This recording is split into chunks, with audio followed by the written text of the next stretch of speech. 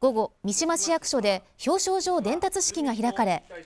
県の暮らし交通安全課新戸野明課長から豊岡武市長に賞状が手渡されました。